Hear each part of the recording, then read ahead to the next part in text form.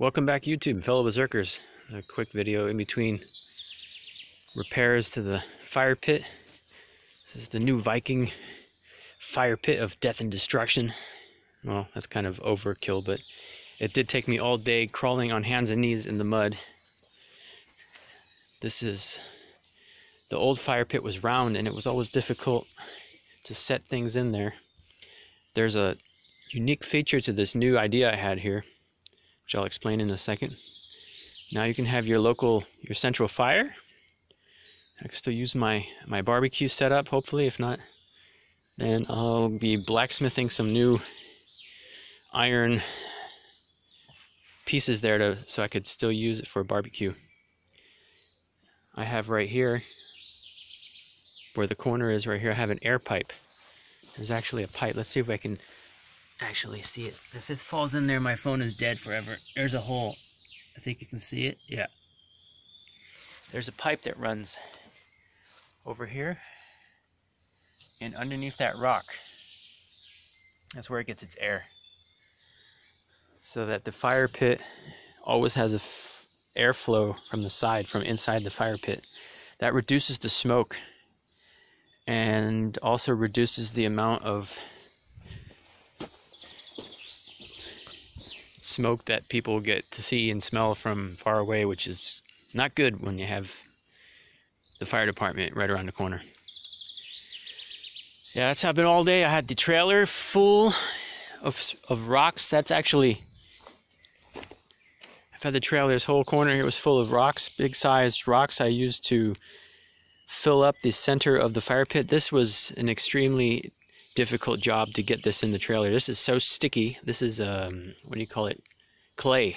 Yeah, I've actually found some clay, and I have a big amount of it. I'm going to be getting some more here, but I need to get this out of the trailer, so I'm working on using most of it up. I'm out of water. My water supply ran out, so I have to call it quits for today. Thought I'd show you guys what I've been up to in between projects here. Quick video. This should be done probably by the end of tomorrow night. I'm still going to fill all this in and make a nice solid trim to the fireplace. And then I have to see how I'm going to reuse my my tripod. It's going to be tricky. I didn't think about that. Uh, maybe it may still fit. If not, I'll just handy dandy forge, get some iron, and we're going to have to figure something out. Other than that, I was able to pave all of this. I did this all by hand. Yeah, I did all this by hand with the trailer. There's like 15 trailers of gravel and all by hand. I plan on putting a table over there and running a tarp over kind of diagonal across in between those two trees. And it's gonna be a nice little corner to sit in the shade. We'll see about how that goes. Friday or Saturday, I'm getting two more large oak trees. I'm excited. It's gonna be really cool, like always. You know, a little corner right here. I'll show you real quick before I complete this video. Oh, I gotta fix that. That's right. This fell down earlier. Oops. This is my. There we go. Oh. Must fix that.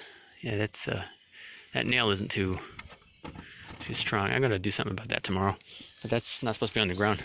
I was throwing boulders from my original Viking fire pit you can see in the first Viking campfire video. Those were buried in the fire pit deep down. I had to dig them all back up. That was fun.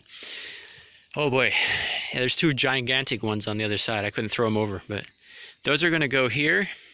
And this area that's overgrown right here is going to turn into a Viking altar. I have my figures at home.